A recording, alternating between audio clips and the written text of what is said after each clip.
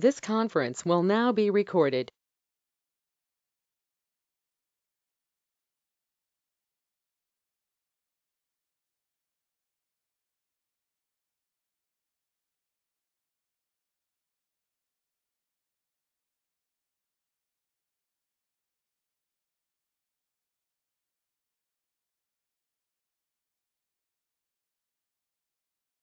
Hello students, good evening.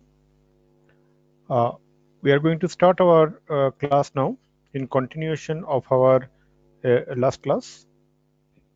If you recall, um, we you know discussed till question uh, 10. Question 11 also we uh, you know started discussing. Uh, I hope I am able to you know you, all of you are able to you know listen to me very clearly in case of any issue please do let me know. The question 11 uh, you know is if the earth stops rotating the value of g at the equator will be what? Will it increase or decrease or no effect or none of this?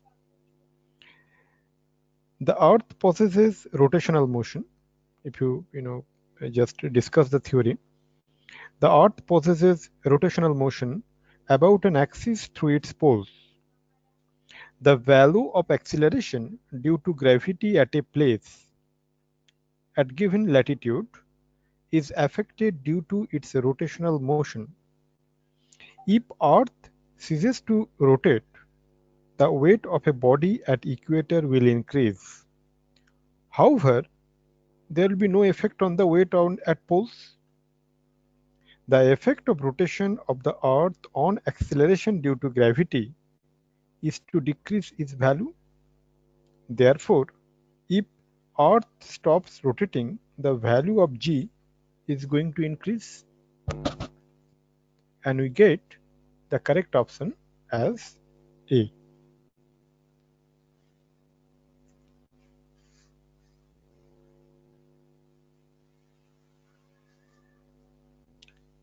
Okay, so let's move to the next question. Sorry. That is question number 12. It says that suppose the gravitational force varies inversely as the nth power of distance.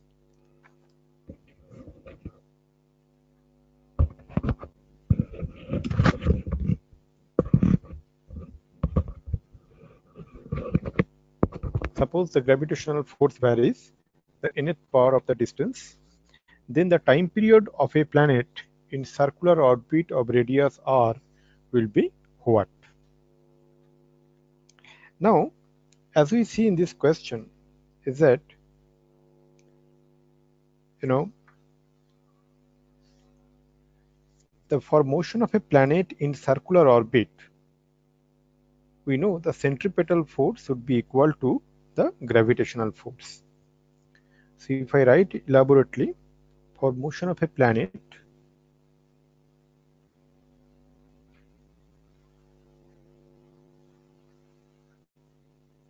for motion of a planet in circular orbit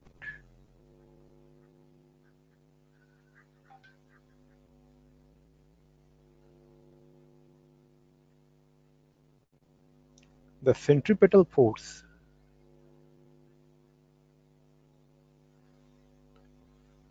centripetal force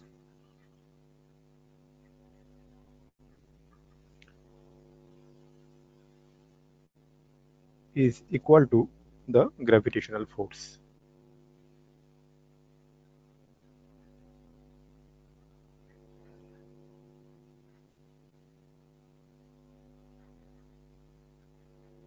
As centripetal force is equal to the gravitational force. So we know what is centripetal force is equal to m r into omega square m r into omega square. That should be equal to the gravitational force. And now according to the question the gravitational force varies inversely as the nth power of distance. So here we should write here g m into m divided by r power n. So from here we find the value of omega as we find the value of omega as square root of g into m g into capital M divided by r power n plus 1 since m cannot be equal to 0 that's why you are able to cancel it. So now what is the time period? Then the time period as you know the time period is equal to 2 pi by omega. 2 pi by omega. So that is equal to 2 pi into omega 1 by omega. So that should be that c square root of r power n plus 1 divided by g into m that is equal to 2 pi by square root of gm into r power n plus 1 by 2 correct? So now we see that 2 pi by square root of g and square root of g into m is a constant. So from here what we can conclude we can conclude is that t is proportional to r power n plus 1 by 2 and as we get this thing you know we get the correct option as A.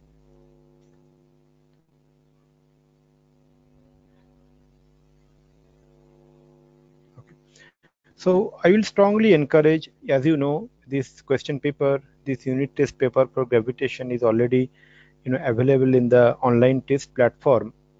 I encourage you to appear this in the online test platform. I have seen uh, you know several of you appeared it but always analyze that where is the you know uh, you know missing link where where things went wrong and get it clarified for me from me so as time goes by as you know that in each unit test there are 50 questions so you know uh, i will skip few questions uh, you know uh, because i want you to involve into answering those questions. If you are not able to you know answer those questions then you always can get back to me. So uh, you know as time goes by we will skip few questions so that you can also be in the uh, you know engaged discussion. Okay so now let's come to the question number 13 question number 13 says that two special two spherical bodies two spherical bodies of mass m and 5m of mass m and 5m on and radii r and 2r respectively are released in free space with initial separation between their centers equal to 12 r.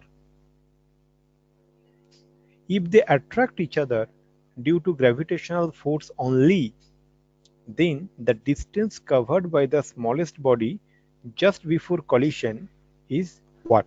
that we are going to find okay so you know um, we can uh, draw this thing by means of a you know um, uh, you know a diagram so uh, it will be clear and then followed by we, we can start answering it okay so uh, you know uh, it says that uh, you know, if they attract each other due to the gravitational force only, then what will be the distance, you know, uh, uh, covered by the smaller body just before the collision. Okay, so let's assume just before the collision, you know, the distance traversed by both the bodies, you know, the, the, the smaller body be x1 so if we draw the diagram, it will be something like this.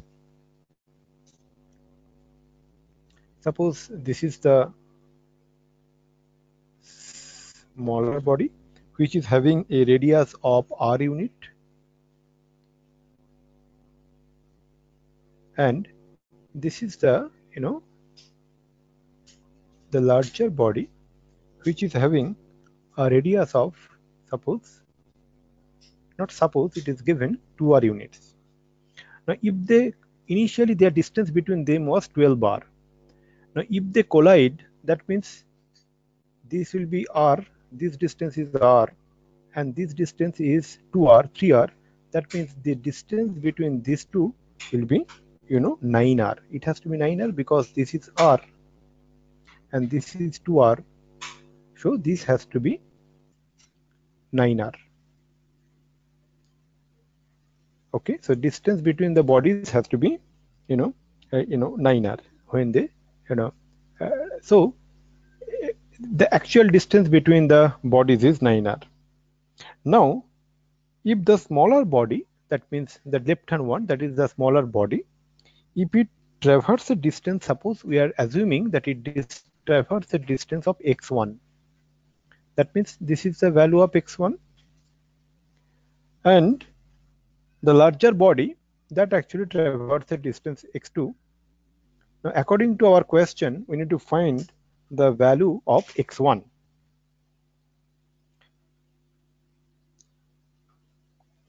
the gravitational force acting between the two spheres depend on the distance which is a variable quantity that we know. So what is the gravitational force then? So we can write the gravitational force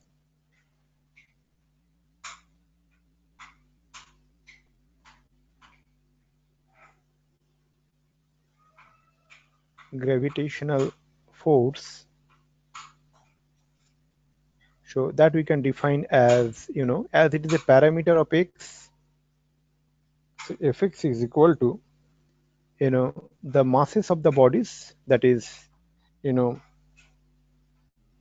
first is g into m into 5m divided by the distance between them. So what is that distance? 12r is the distance and if they come each other it, it traverses a distance of x at 12 minus x whole square. Correct so this is quite simple right? That we know the gravitational force acting between the two spheres depend on the distance which is a variable quantity. As the distance between them is 12 bar so you know if the distance you know traverse is x then it has to be 12 bar minus x will be the you know that you know resultant distance between the two you know spheres. So this is the gravitational you know uh, uh, force? Now because of this gravitational force what is the acceleration of the smaller body?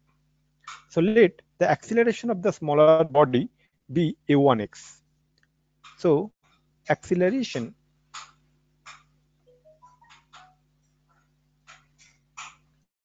acceleration of the smaller body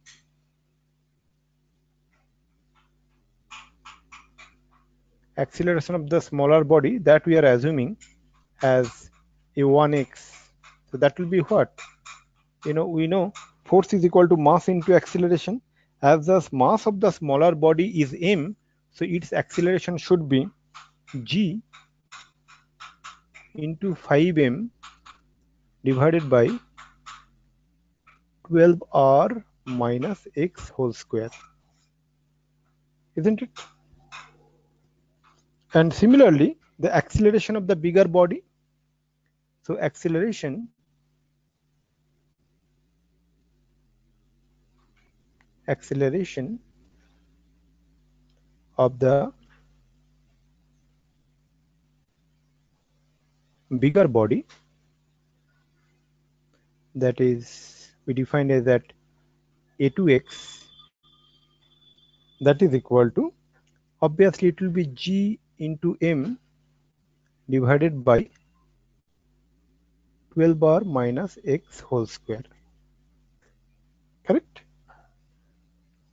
now, as we have defined that smaller you know, sphere, the smaller body has traversed a distance x1, then what is the equation, you know, you know, kinematics equation we can use? it is x1 is equal to ut plus half a1 xt square. U is 0 here, isn't it? So we can use the laws of, you know, that in a kinematics formula. So we get what? We get x1 is equal to u into t, which is 0, by the way. Okay, let me write 0 into t plus hop into acceleration of the smaller body is a1x into the time duration square t square. And similarly, we'll get x2 is equal to 0 into t plus half into a2x into t square. So now from these two equation, what you can, it is now all belongs to this, you know, mathematical, you know, simplification. What is our purpose? Our purpose. So here I would like to spend some time to explain you that how to approach this kind of problem. So what, so that is defined by what is our purpose. Here our purpose is to find the value of x1 now, as our purpose is to find the value of x1, and we know x1 plus x2 is equal to 9r, then one thing is very clear that if we can express x1 in terms of x2, it is very easy to find the value of x1 in terms of r because we know x1 plus x2 equal to 9r. Now, so that actually, you know, gives us the, you know, confidence to proceed to the next step that our task is to find the value of x1 in terms of x2 and to do that the best way to do is that to make x1 by x2 so from these two equations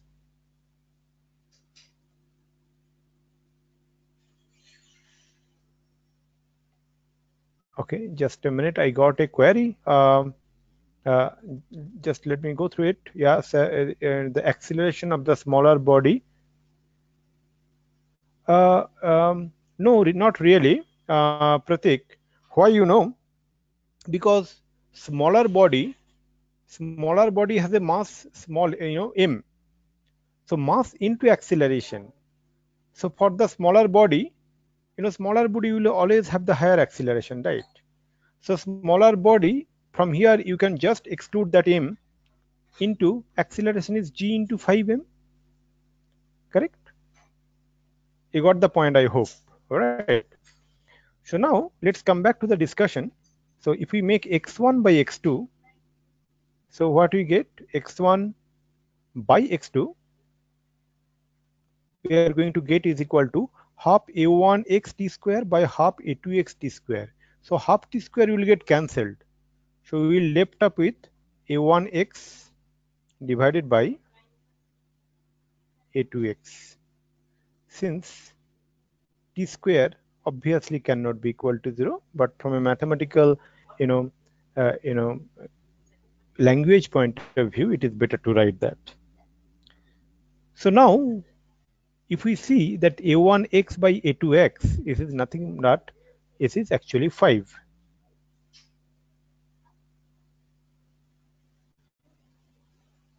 so from there what we get?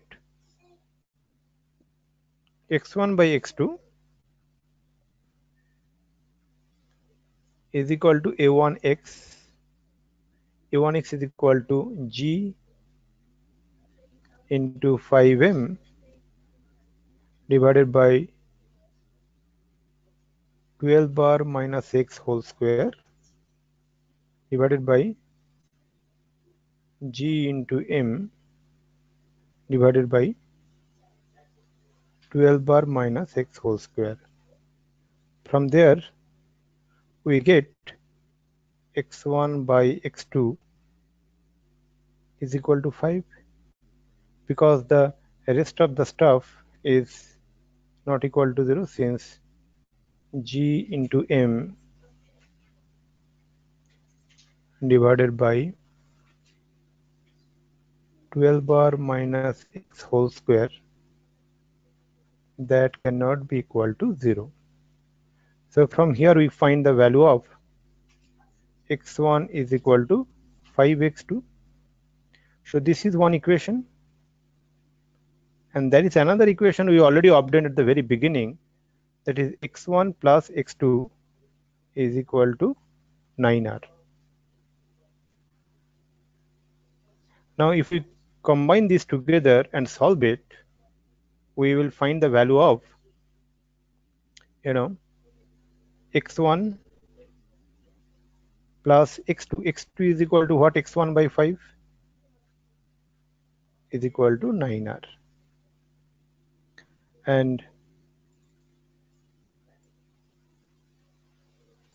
so from here we find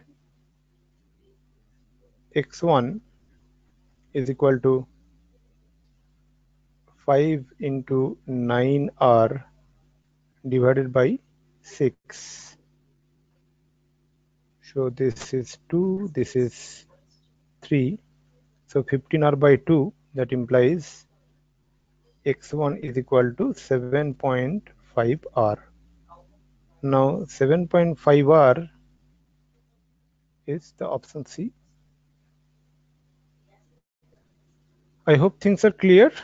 Uh, you know, so this is a perfect example of how we can use, you know, the formula of kinematics to find the distance traversed by two bodies under gravitational force of attraction. And the question I got from Pratik, uh, I hope you understood why the smaller, uh, you know, body will have the larger acceleration of g into 5m by 4r Eh, sorry 12 bar minus x whole square. If you still have a doubt uh, yeah thanks pratik for your confirmation. Okay. So now let's proceed to the next question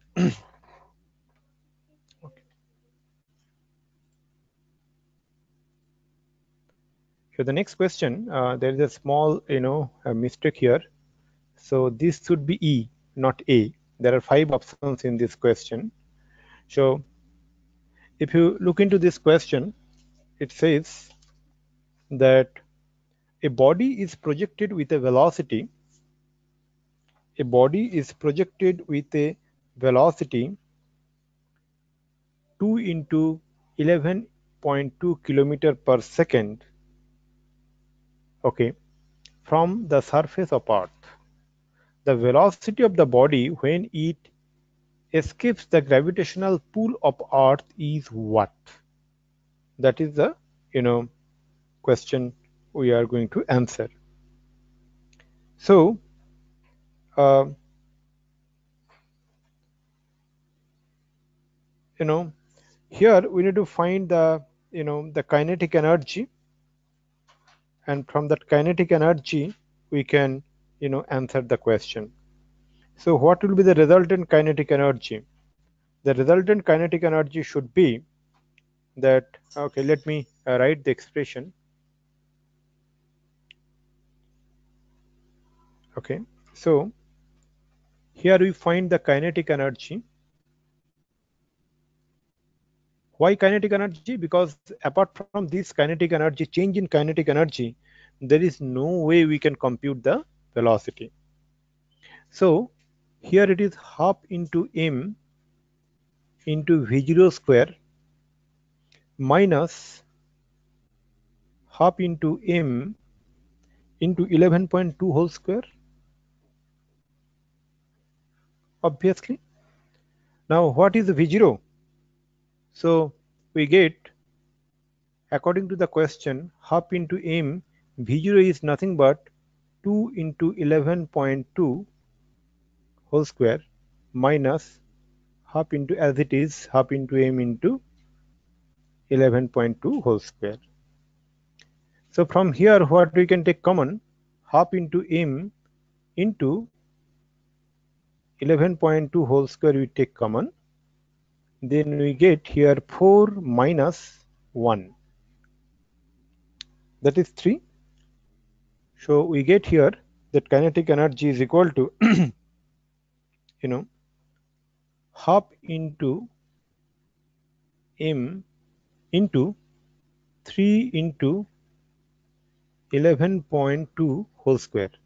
Now this kinetic energy is nothing but half mv square. If this is the velocity if v is the okay okay So v is the velocity with which the body escapes. So then this half mv square should be equal to half m into 3 into 11.2 whole square. So half m half m got cancelled. We can get, I'm sorry, we can get v, we can v square is equal to, we can take, you know, 3 into 11.2 whole square. So from here we get the value of v is equal to root 3 into 11.2 since v cannot be less than 0 hence we are considering in this context v cannot be less than 0 so we consider only the positive value that root 3 into 11 point you know 2 you know meter per sec kilometer per second.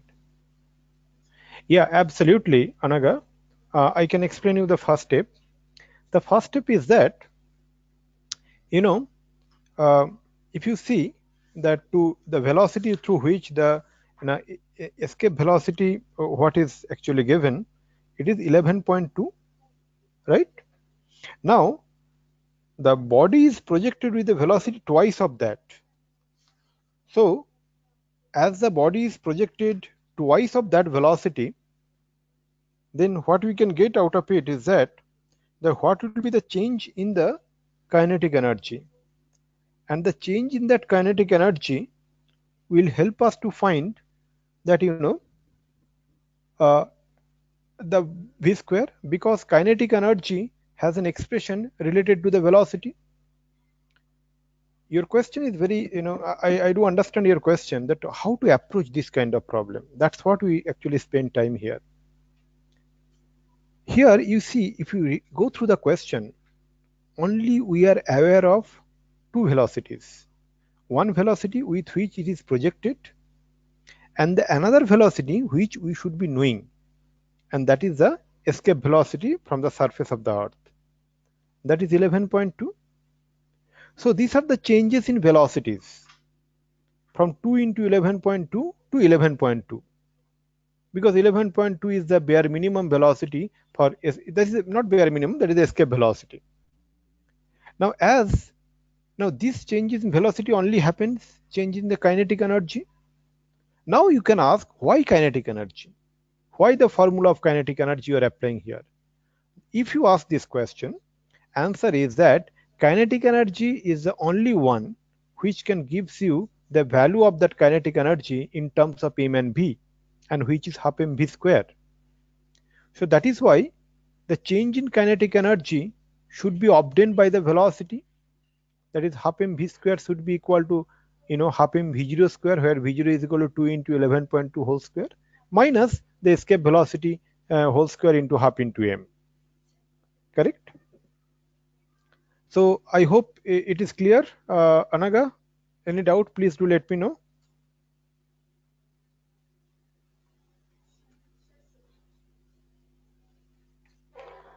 Okay so um, okay thanks thanks for your confirmation that you understood. Okay now let's uh, you know proceed to the so we get the correct option as option a and we can proceed. So these are the concepts. So that's why i choose these specific questions. If you see the varieties of questions you know the way i choose is that you know this will build you the good confidence to you know proceed with the next you know question any unknown question if you face later you know. Um, this solving these kind of questions will give you enough confidence. And as you know in our online test platform there are enormous questions you know we and uh, we have an eminent set of faculty members those who sit together and design these questions uh, you know to make uh, your uh, you know to realize how well you understood that you know the topics. Anyway so let me go to the next question that is question uh, 15 so the question here is that which of the following statements about the gravitational constant is true? I hope you will be able to answer this one. The gravitational constant uh, can any can all of you please answer this one so that uh, I can uh, think of that what is your understanding? You can in the chat box you can write what is what you think which option should be the correct one the question is simple but it is also a tricky one.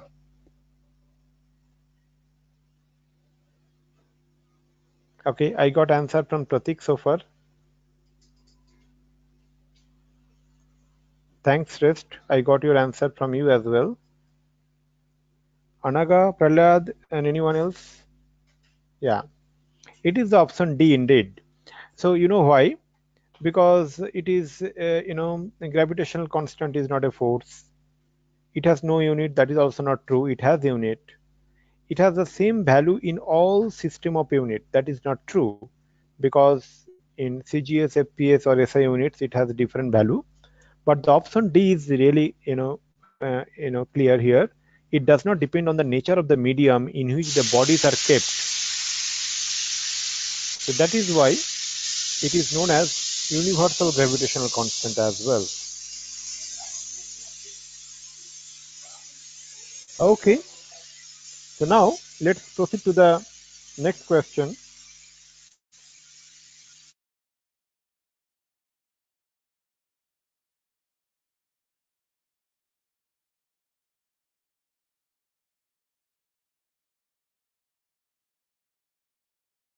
Okay, so let's proceed to the next question, which is question 60. Sorry, question 16. Okay. So the weight, uh, you know, according to this question, the weight of a body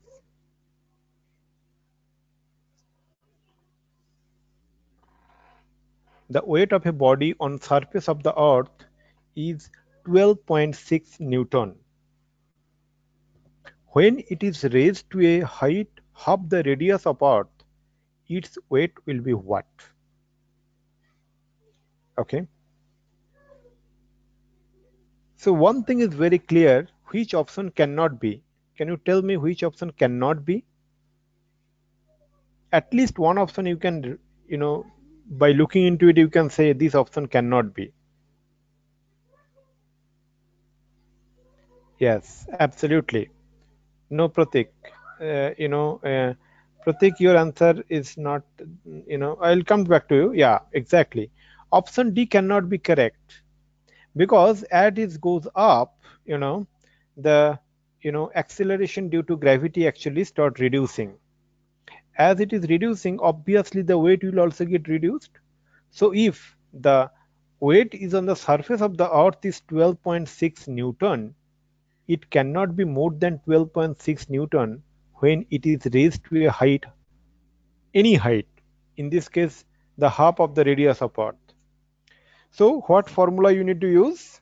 If you recall the formula, the at height h, the acceleration due to gravity, okay, at height h, if we, you know, find the, if you consider the acceleration due to gravity be g prime, okay let so i'm writing it here. Let the acceleration due to gravity let the acceleration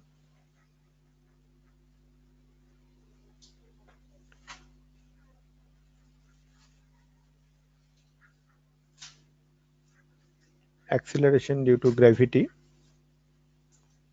at height h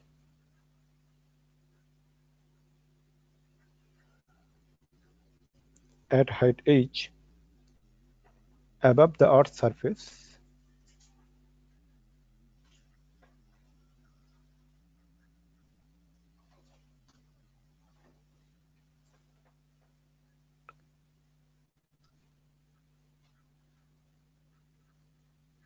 Surface b g prime. Then what you get the g prime? Then we know the formula g prime is equal to g into r square divided by r plus h whole square. Correct? Now, in context to our question, this h is nothing but r by 2. So, if we apply the value of h is equal to r by 2, we get g prime is equal to g into you know r square divided by r plus r by 2 whole square. Now if you simplify, I'm not going to the further simplification because this is you know pure you know algebraic simplification.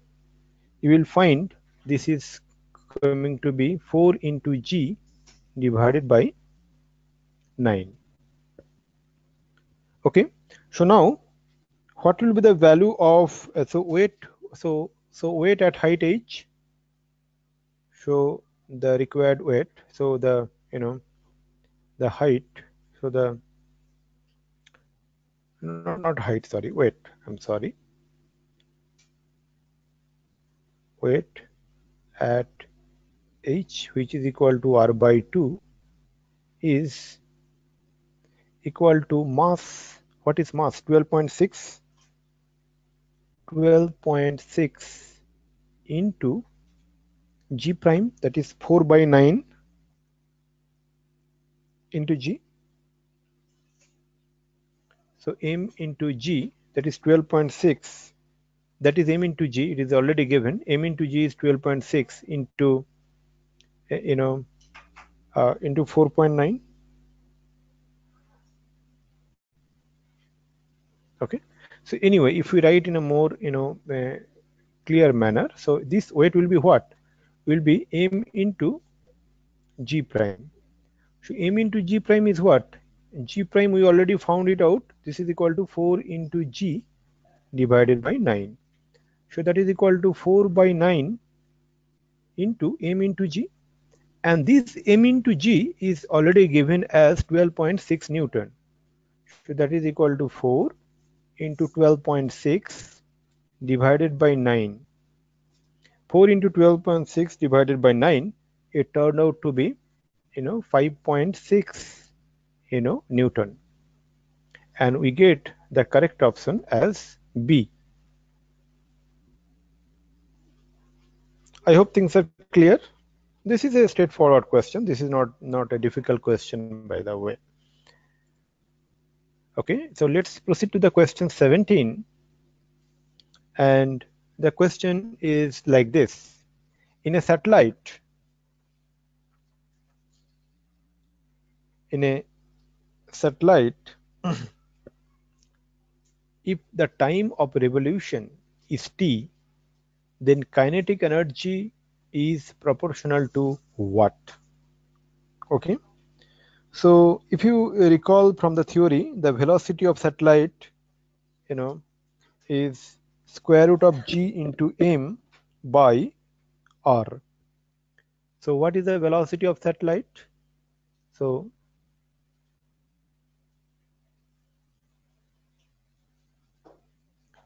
velocity of satellite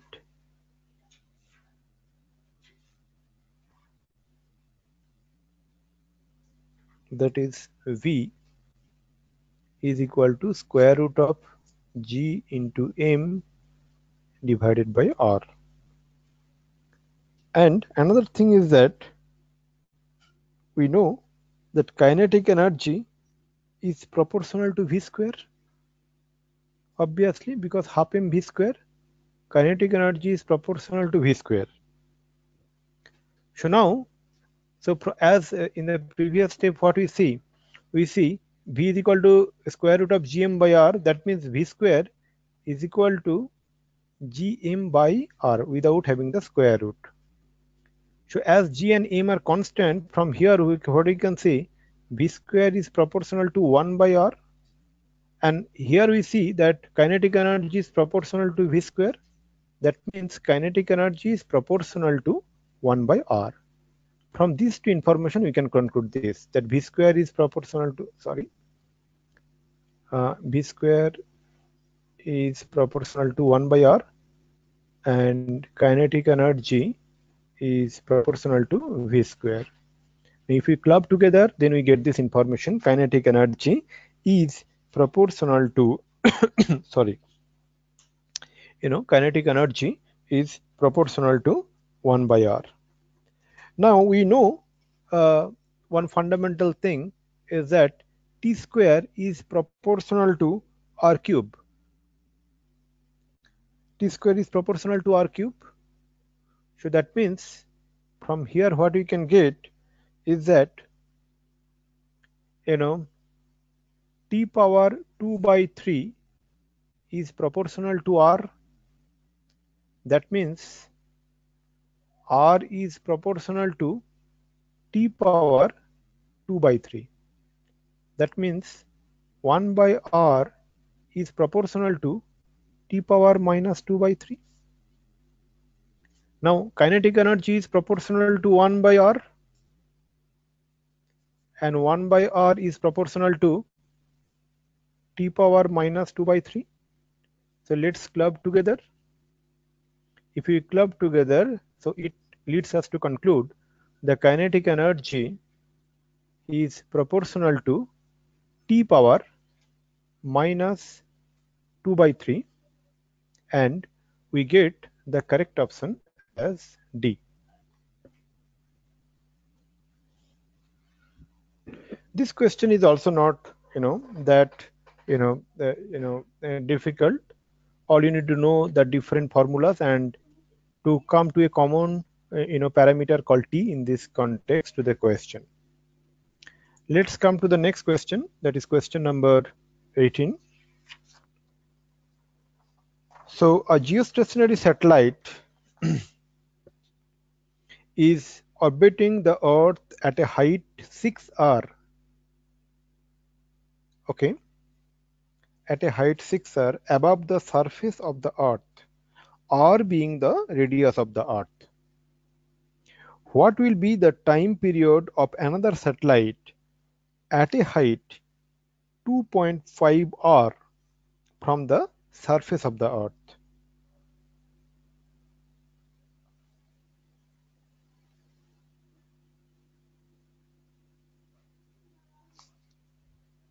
Okay. So now what we can proceed here so the way to proceed here is that you know the first thing should be used here is the Kepler's law of periods. And Kepler's law of says that you know let me write it down. So according to Kepler's law of periods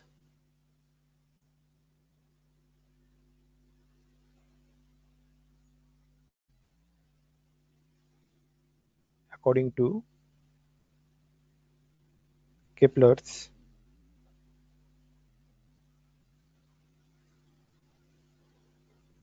Law of periods.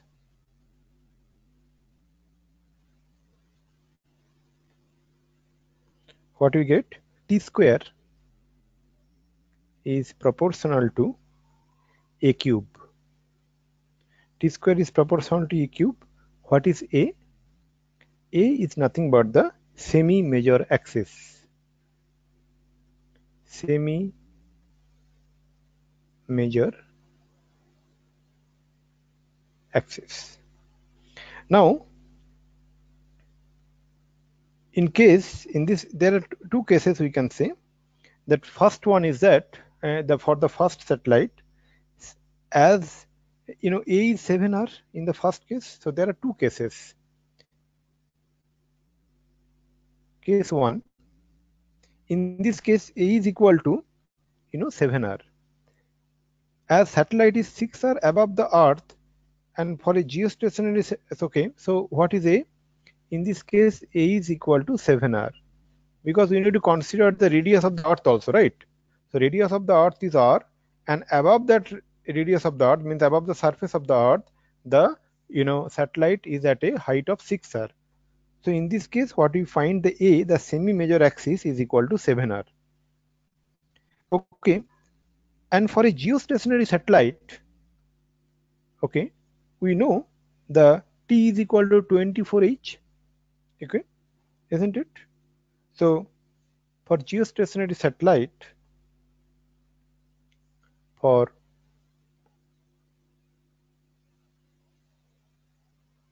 geostationary for a geostationary satellite.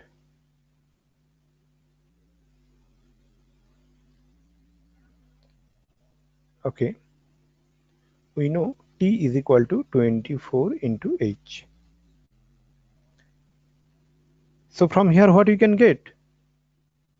Using that formula t square is proportional to a cube we can get that 24h is proportional to 7r whole cube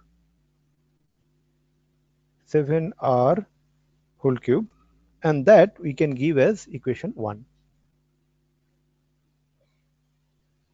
Now in case 2, what do we get? Case 2 is for the, you know, the another satellite. So in this case, A should be is equal to R plus 2.5 R. So R should be here 3.5 R. Because as I explained uh, in the first case, that you need to consider the radius of the earth, which is R, and above the surface of the earth, it is at a height of 2.5 r. So the a, the length of the semi-major axis in this context is at 3.5 r.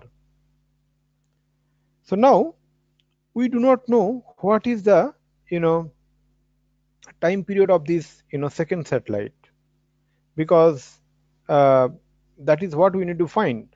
So let's assume this is equal to t. So from here what we get? So if we assume t be the time period of the second satellite, so then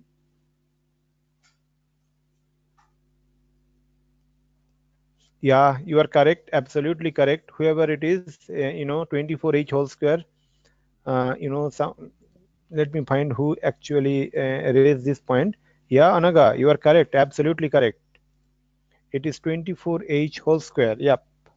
True. Yes. In fact we can ignore that h. Uh, you know it is 24 let me ignore that h. H is not uh, you know important here. So you are correct. Thanks. Thanks for detecting this. So 24H, you know, 24, you know, whole square is proportional to, you know, 7R whole cube. And here also, as you do not know, let's assume it is t, t so t square is proportional to 3.5r whole cube. So let's give this to equation number 2. Now from this equation 1 and equation 2, we need to find the value of t. Now after that the question doesn't belongs to physics at all. So what we can do, we can, you know, as this proportion are same, the proportionality constant, proportionality constant should also be same. Okay. So that means what? 24 square, if we write from here, you know if we write that 24 square is equal to the proportionality constant is k into 7r cube okay so here also you can write that t square should be equal to k into 3.5r whole cube because uh, proportionality constant should remain the same so what we can do is that we can divide this from equation 1 by equation 2. So what we get is that 24 by t whole square. 24 or we can write 24 square by t square that should be equal to 7 r cube divided by 3.5 r cube. That means 7 cube divided by 3.5 cube. So now if we, you know, mm, you know, simplify further, so from there we get the value of t square is equal to 24 square because 3.5 into 2 is 7. So 24 square by 2 cube. So that is equal to 24 square by 2 cube. So now if we simplify further, we will get that t is equal to 6 into root 2. So what will be the time period? The time period will be 6 into root 2h which is option A. I hope things are clear. Any doubt, please do let me know. Never hesitate. This is from the you know planetary motion.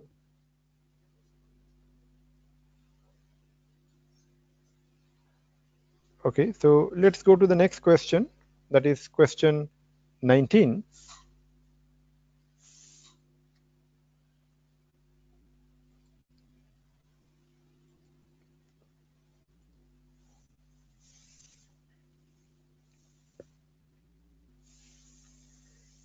It says that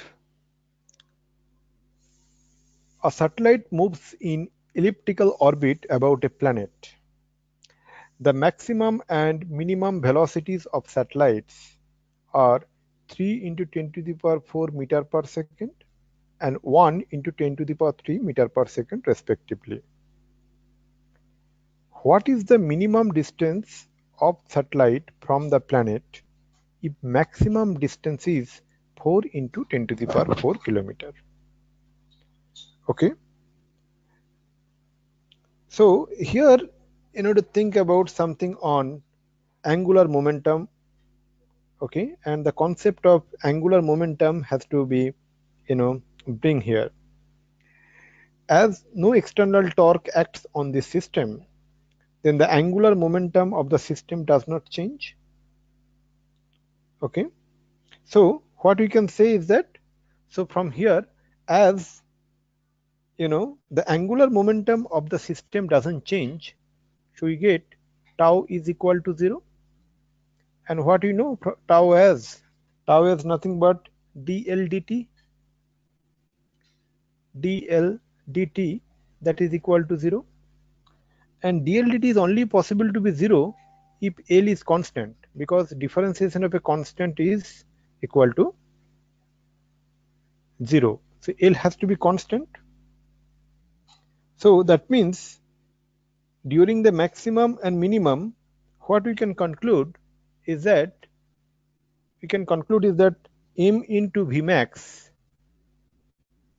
m into Vmax into R min that is equal to m into Vmin Vmin m into Vmin into R max correct so from here what we can find from here we can find that what is the minimum distance of the satellite from the planet? That means we need to find the value of R mean. R mean is equal to V mean into R max. V mean, sorry, V min into R max divided by, you know, V max. Now in the for the right hand side, all the values are known to us. So we find the value of R min equal to what is the V min? V min is equal to 1 into 10 to the power 3 according to the question. 1 into 10 to the power 3 into R max. R max is 4 into 10 to the power 4 divided by what is Vmax? Vmax is equal to 3 into 10 to the power 4. 3 into 10 to the power 4. So if we simplify all these things, you know, I'm not going to details about this algebraic simply, but it is quite simple. It is 4 by 3 into 10 to the power 3. So we get the value of R min as 4 by 3 correct exactly. 4 by 3 into. But you know Pratik this is being discussed in planetary motion. So uh, that's why it comes under the territory of uh, you know gravitation. So so we get r mean is equal to 4 by 3 into 10 to the power 3 kilometer and we get the correct option as C. Okay. Okay, so what happened is that, you know, um, you know, I, I can discuss you this thing in details uh, because, uh, you know, Pratik, um, that uh, when the, you know, the angular momentum of the system doesn't change, then L is constant. So what is L? How you can obtain the value of L? It is mvr. If you go to the you know uh, dynamics part, so it has to be maximum velocity with the minimum uh, you know uh, radius. That should be equal to as L is constant, L cannot change. So it has to be uh, if Vmax R min, then it has to be R max Vmin. Okay as and why it is constant because there is no external torque act on a system if you need to know more about it then we can discuss uh, you know separately uh, so that uh, you know um, we, we can discuss more and come to uh, you know I can clear any doubt you, you may have. Okay. Now let's uh, you know uh, go to the next question. That next question is you know question 20 okay thank you. Thanks for your confirmation that you understood. Okay so next question is question 20 and it says that you know let me read out this question. A satellite is revolving around the planet. The gravitational force between them varies with r power minus 5 by 2 where r is the radius of the satellite. The square of the time period t will be directly proportional to what? It is not that difficult a question. Okay, so how to answer that one is that, you know, similar kind of question we have done today, you know, the gravitational force provides the required centripetal force.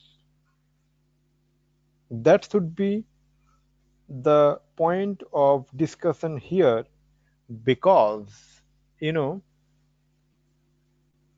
time period is required here and time period has a direct relationship with omega.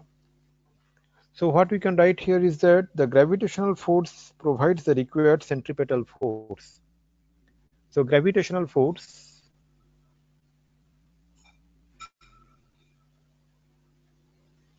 gravitational force provides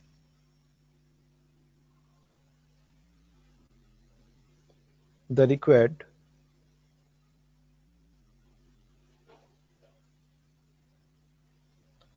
centripetal force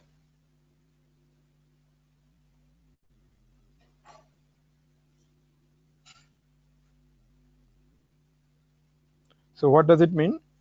It means is that as we have done earlier today, m omega square r is equal to g into m into m divided by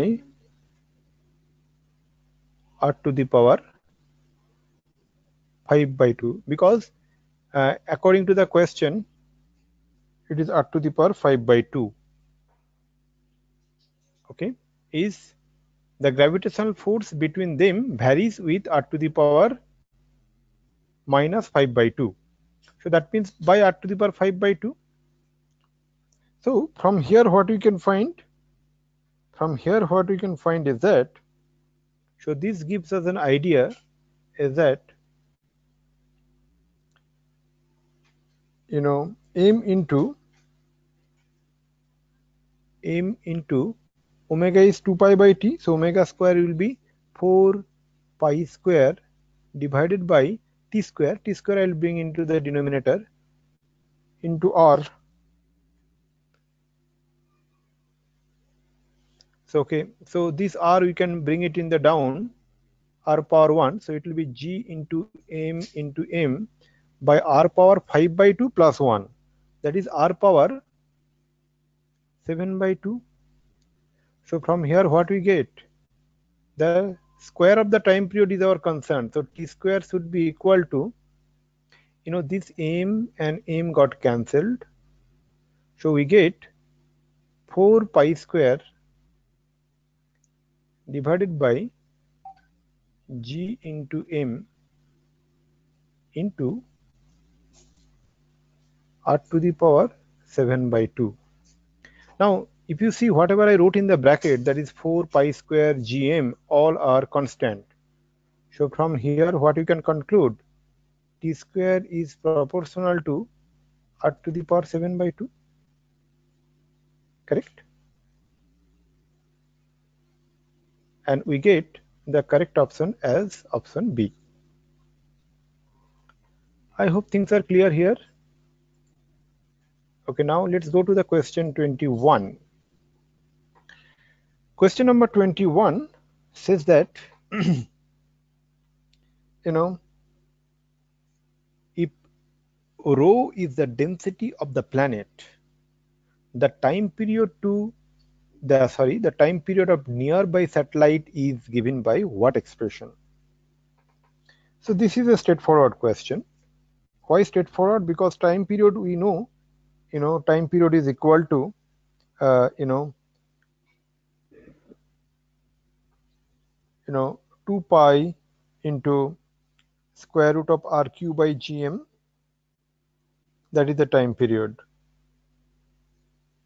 so what is the time period here? Time period here is that t is equal to 2 pi into square root of r cube divided by g into m. Now it's all about simplification. So it is it turns out to be 2 pi into r power 3 by 2 divided by you know g into mass mass is equal to what you know we can write is that 4 by 3 pi r cube into rho rho is the density because why we bring rho here because that's what is given in the question so definitely we need to bring that one and if we see out of the all the four options, in all the four options no nowhere m is there. So that gives us enough indication that we need to convert that mass into volume into density. Okay. So from here what we get? From here with simplification we get the value of t is equal to square root of oh sorry. so there is a one small change here. This should be this entire thing should be power 1 by 2 so i am not going with the algebraic simplification here but if you simplify that will be turn out to be square root of 3 pi by you know g into rho if you have any doubt in this simplification you can contact me anytime in later okay so we get here the correct option as c which is you know square root of 3 pi by g into rho. Okay, so now let's proceed to the next question that is question 22.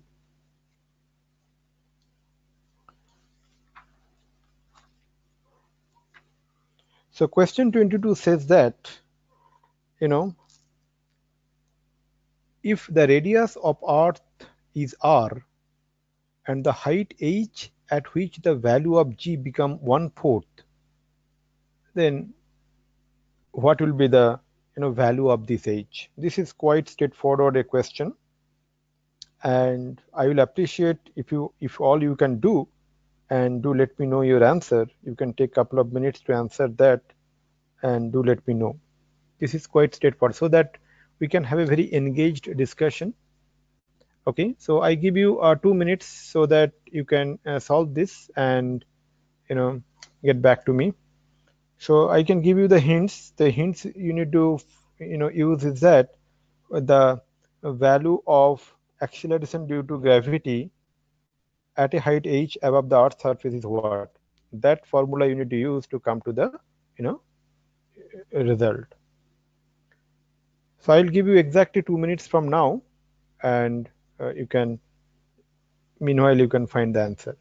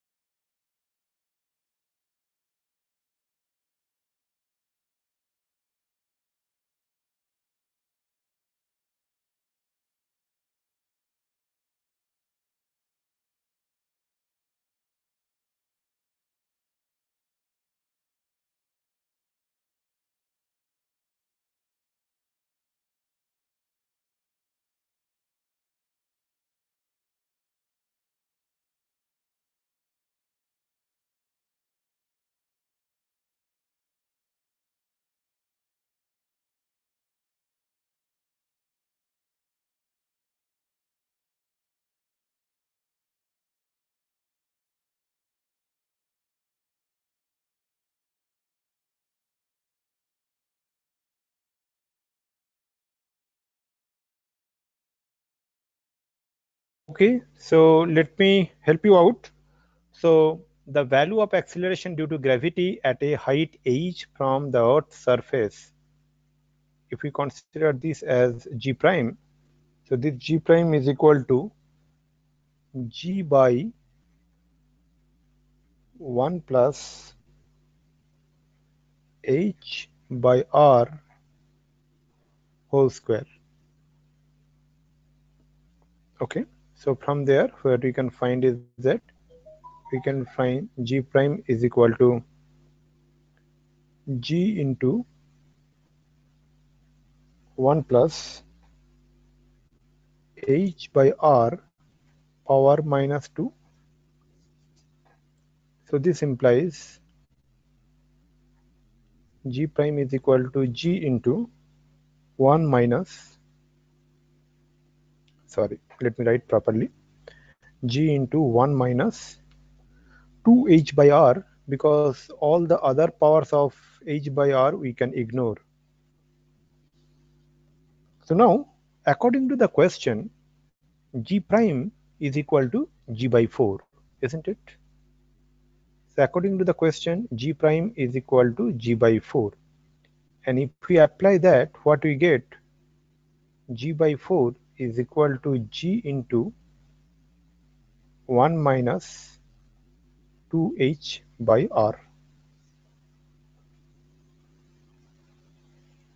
So as g is not 0, so we get 1 by 4 is equal to 1 minus 2h by r since g cannot be equal to 0 from here what we can get? From here we can find the value of h i'm not going to the that much of simplification. So you know step by step simplification. So we will get 3 into r by 8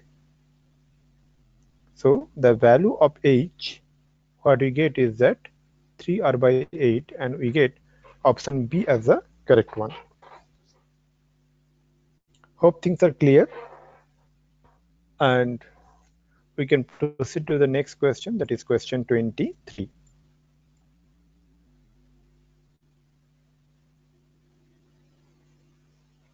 Okay, so your question is that if you get H is equal to R, huh, the point is that if it is h is equal to r then what will happen is that you know yes what you get is that uh, uh, that that value h by r that expression you need to expand right? That there are two formulas for uh, g prime. When h is you know comparable to r and when h is not comparable to r. So i'll explain you this thing. These two formulas are there. So we are not supposed to use the this one that to replace the value uh, here with h as r because the formula is different in this context. So there are two values of g prime. One when it is comparable to r and when it is not comparable to r when it is much much lesser than r. Okay. So let's so in this context we cannot really uh, apply the value h is equal to r in this in, in in this context in this formula okay so now let's proceed to the next question that is question 23 yeah. Question 23 and question 23 says that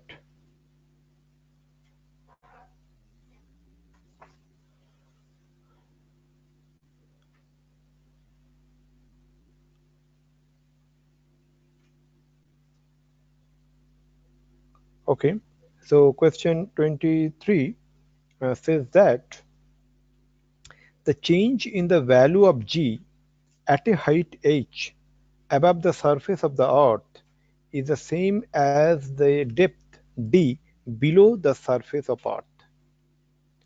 Then both d and h are much smaller than the radius of the earth. Then which of the following must be true? very classical question you know uh, and not uh, that difficult a question also because you need to apply two formulas here acceleration due to gravity at a height h and acceleration due to gravity at a depth d. So if we apply this thing that acceleration due to gravity at height h so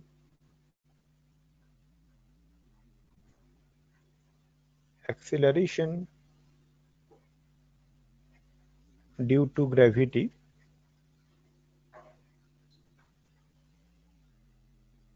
At height h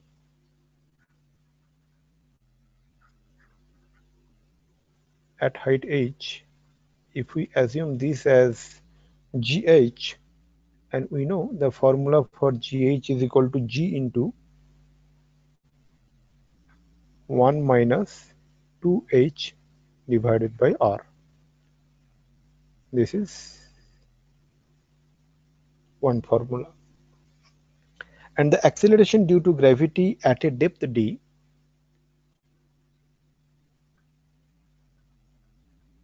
acceleration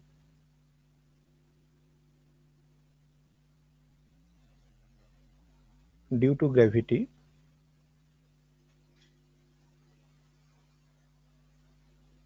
at height at sorry at depth. I'm so sorry. At depth d if we assume this as gd gd is equal to we get g into 1 minus d by r. g into 1 minus d by r. So there are two equations and according to the question gh is equal to gd so if we give this equation as equation 1 and if we give this equation as equation 2 according to the question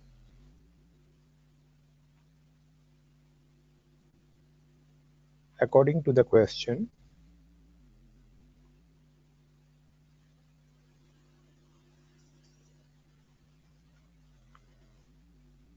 GH is equal to GD.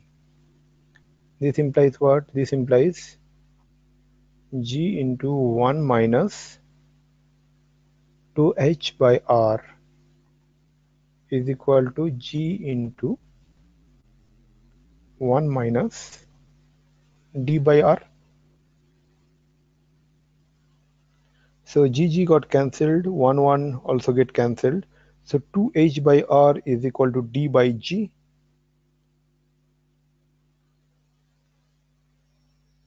Okay. And from there, we can find the value of 2h is equal to d. So from here, what we get is equal to you know 2h is equal to d and we get the correct option as C. We get the correct option as C.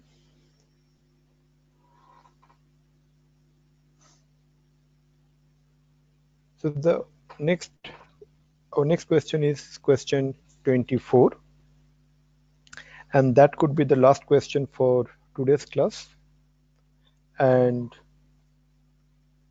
the question here is that let me uh, go to the question 24 here it is. The height at which the acceleration due to gravity become g by 9 where g is equal to the acceleration due to gravity on the surface of the earth in terms of r the radius of the earth is what?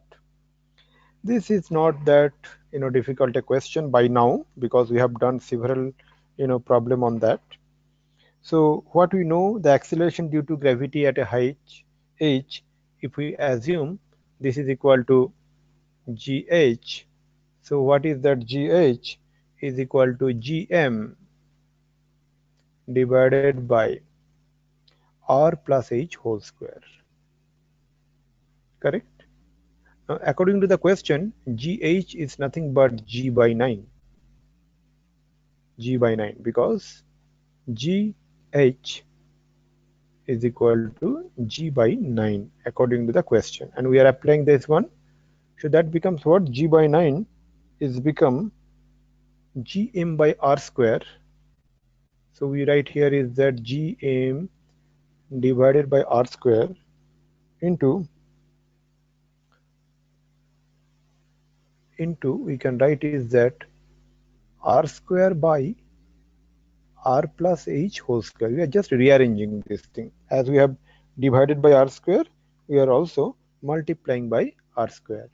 And that we can do as r square is not equal to 0. From a mathematical perspective, we can write this thing. So from here, what we can get is that, you know, that we get 1 by 9 is equal to now gm by r square is equal to what? gm by r square is nothing but g. So from here g by 9 is equal to g because gm by r square that's why we divided by r square and multiplied by r square g into r by r plus h whole square. So from there what we get? We get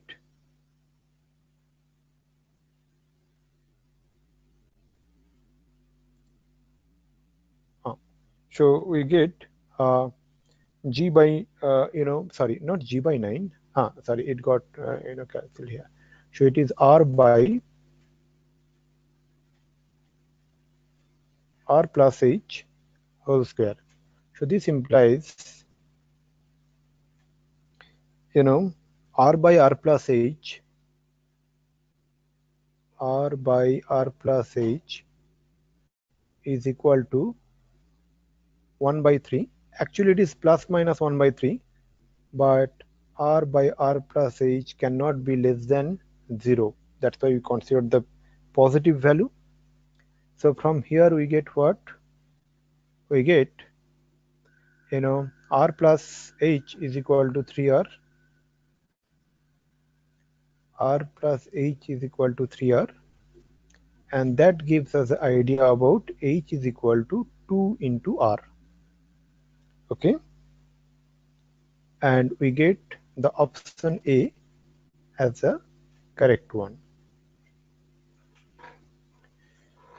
So with this I would like to conclude today's class because I know uh, tomorrow uh, you have a school and uh, we will again have a continuation of this session on Friday same time that is at 9 p.m. IST. If you have any question, you can always be in touch with me over WhatsApp uh, in our WhatsApp group or individually if you have any question. Uh, till then, uh, goodbye.